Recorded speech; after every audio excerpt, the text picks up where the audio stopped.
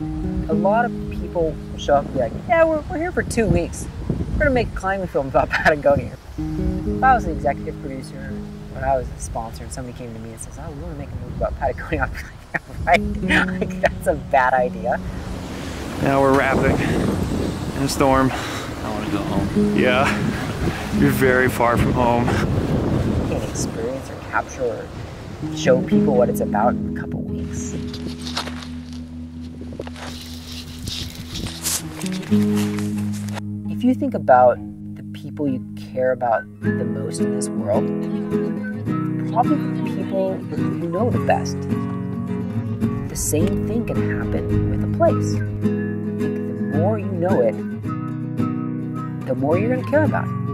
The more you're going to want to protect it. The more that place, you know, is going to do to you go out, have an adventure, get lost, and learn how to love a place. Embrace all of it.